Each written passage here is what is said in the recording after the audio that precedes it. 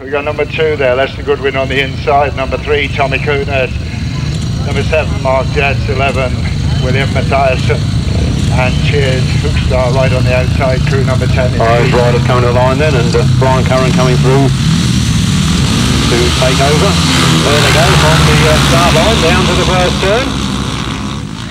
All sorting themselves out as they come round that corner. It's number two in front. Here's Brian.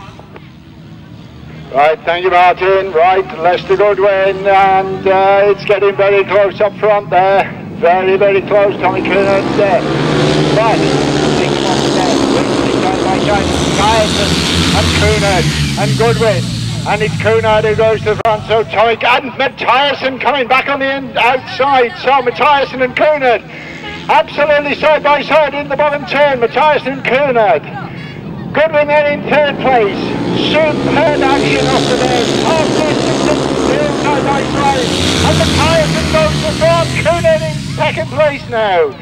Lester Goodwin in third. Behind them, the others. But we're all concerned with this tremendous clash up front with Matthijssen and Tommy Kunert. They're going to got a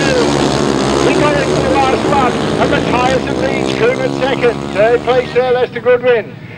And in fourth place, it was Hoekstra. But is this going to be a win for number 11, William and Natalie Matthijssen?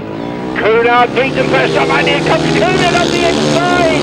It's close, it's close, but Matthijssen gets it. Wow, what a fantastic race. Matthijssen, William and Natalie Matthijssen.